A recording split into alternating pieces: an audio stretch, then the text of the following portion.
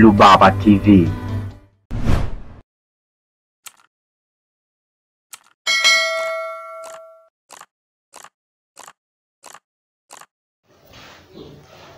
Watu wengi sana wamekuwa wakiniuliza kwamba kuhusiana na YouTube, namna gani mtu anaweza kuingiza pesa YouTube, na wengine wakawa wakiniuliza kwamba je, YouTube inalipa sana au YouTube ni namna gani inalipa?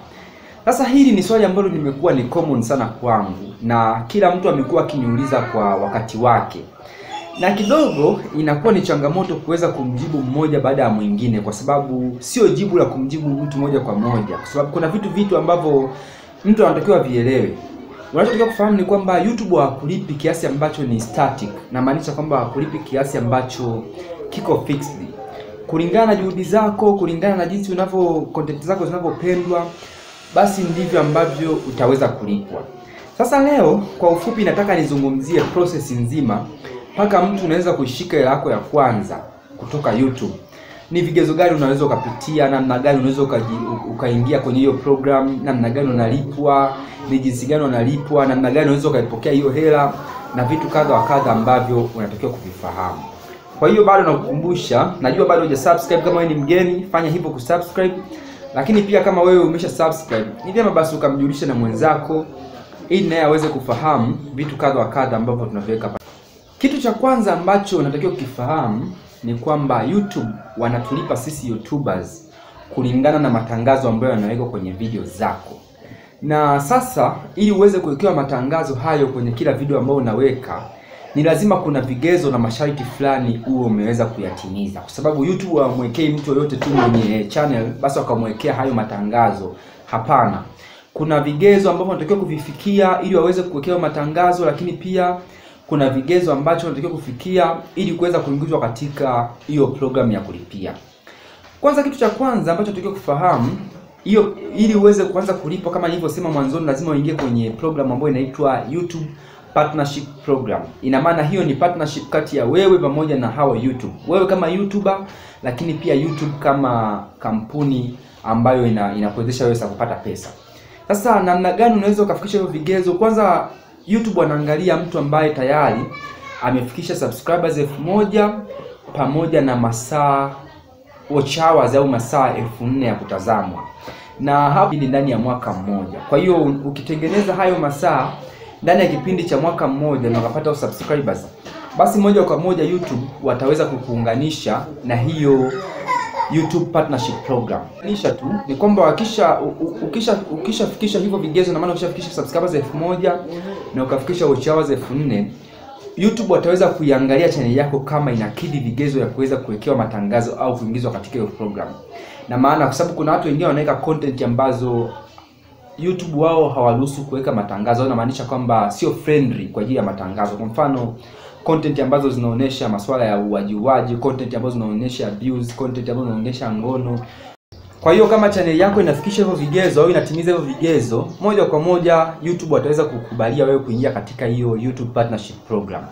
Na unaweza ukasoma maelekezo zaidi kuhusiana na hizo channel, I mean kuhusiana na hivyo vigezo kupitia website za YouTube huko ukiingia.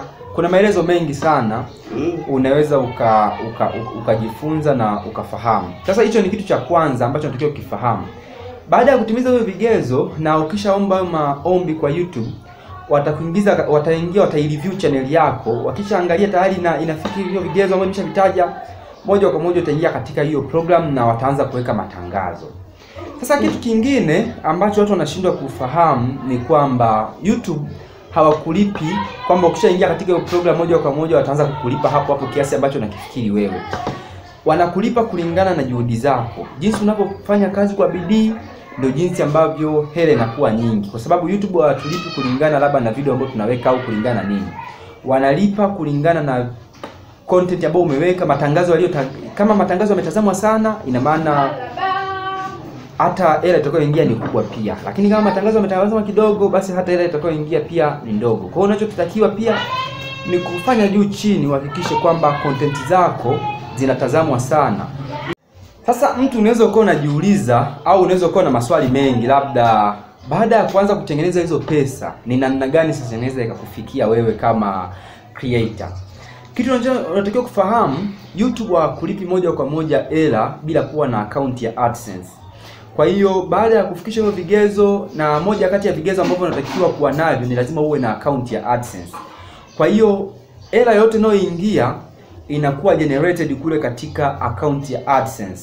Ukiingiza dola moja, ukiingiza dola mbili, ukiingiza dola tatu hadi mia, moja kwa moja inakuonesha kule kwenye account ya AdSense. Na ndani ya account ya AdSense kule kuna connection ambazo unaunganisha kutoka kwenye account ya AdSense ili kuweza kuingia katika account yako ya benki. Nitaelezea vizuri sana tunavyoelezea, lakini kwa ufupi unatakiwa kufahamu kwamba ili uweze kulipwa lazima uwe na AdSense account, na hela yote ambayo unaitengeneza itaingia kwenye AdSense account, na hiyo hela ambayo ikishafikia kiwango ambacho unatakiwa kutoa, basi unaweza ukaitoa, na kiwango ambacho kinatakiwa, kwa mfano mtu mimi, kwa mfano nalipo kutumia dola. Na ili uweze kuipata hela moja kwa moja ni lazima ufikishe kuanzia dola mia. Sasa hapo ndipo natakiwa uweze kuitoa, kwa sababu hawezi kulipa chini ya hapo.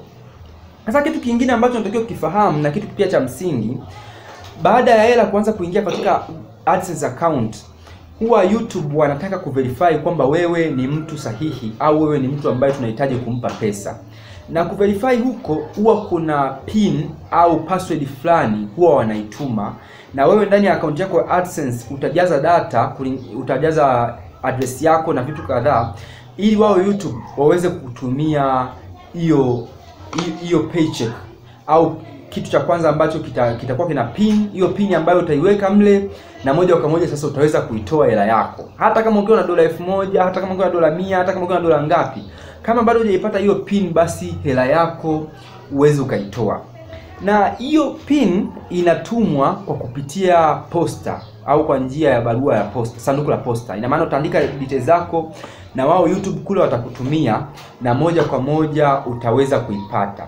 Sasa hiyo inaweza ikachukua muda. Kwa mfano mimi ilichukua muda kidogo, niliomba mwezi wa 11 mwaka jana, lakini hiyo pin nimekuja kuipata mwaka huu mwezi wa mwezi wa mwanzoni mwanzoni hapo, na hiyo ni kutokana na sababu mbalimbali. Kwa hiyo unaweza ukawa unatengeneza pesa lakini huwezi ukaitoa. Kwa utakapopata pin kwa mara ya kwanza utaweza kuitoa hela, hata utengeze dola 100, dola 10,000 wewe uweze ukaitoa mpaka upate ile pin. Na hiyo pin inakuwa na mfumo gani?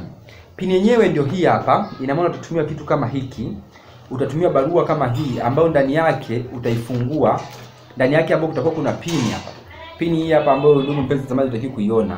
Hii ni mali yangu. Kwa hiyo unaweza ukaona tu kwamba hiyo barua inakuaje, ambapo ndani ya hiyo barua utapewa na maelekezo namna gani ya kujaza, utaijaza, I mean uta, uta, utaandika hiyo pin na moja kwa moja basi hiyo hela yako unaweza ukaitoa. Na hii barua pia ina changamoto jinsi ya kuipata. kocha msingi unachotakiwa kufanya ni kwamba unapoomba mara ya kwanza basi usibweteke. Ukiomba mara ya kwanza watachelewesha tena, omba tena, omba tena mpaka pale watakapokupa. Inakatisha tamaa, lakini na kuhakikishia, endapo ukiomba YouTube hajawahi kushindwa, moja kwa moja utaipata, hata kama ni miezi kadhaa, lakini moja kwa moja itakufikia. Sasa ni tumaini langu umefahamu na umepata picha kidogo kulingana na namna ambavyo nimekuelezea jinsi YouTube wanavyolipa na namna gani wanavyofanya. Lakini pia kama una maswali au bado kama hujaelewa, pia hapo kwenye comment unaweza uka comment na mimi pia kwa wakati sahihi na wakati mzuri nitakujibu ili uweze kujifunza zaidi. Na tunapoendelea pia tunaendelea kujuzana mambo kadha wa kadha ili kuweza kukupa wewe wigo mpana wa kuweza kufahamu namna gani unaweza kujiingizia pesa kupitia YouTube. Naitwa Imani Rubaba na hii ni Rubaba TV. Mpaka wakati mwingine, na asante. Yeah.